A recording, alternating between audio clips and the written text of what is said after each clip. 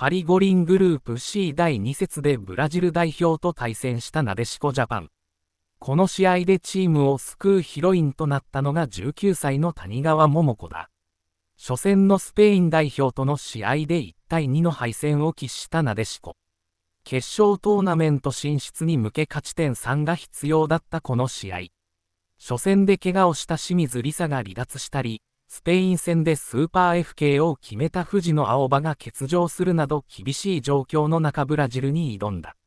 開始直後からブラジルの激しいプレスを前に苦戦していた日本は前半アディショナルタイムに田中みな実が PK を外してしまうなど、チャンスはあるがゴールが奪えない状況が続くと、56分にブラジルに先制ゴールを許してしまう。その後メンバー交代を駆使しながら同点ゴールを狙うなでしこだったが、1点が遠い。そんな嫌なムードを吹き飛ばしたのが80分から出場した19歳だ。球際の強さや正確なキックで日本の攻撃のリズムを谷川が作ると、後半 AT にキックフェイントから相手のハンドを誘発。これをキャプテンの熊谷咲が冷静に決めてなでしこが土壇場で同点に追いつく。試合はこのまま引き分けかと思われたが、90プラス6分にドラマが待っていた。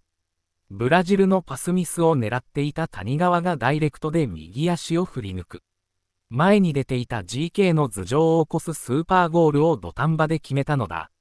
このゴールには SNS でも多くの賞賛が集まっており、これは語り継がれるゴールだ。これえぐい恐るべき19歳。まさにスーパーゴールなど、なでしこのニュースターとなった谷川のゴールに多くの声が寄せられた。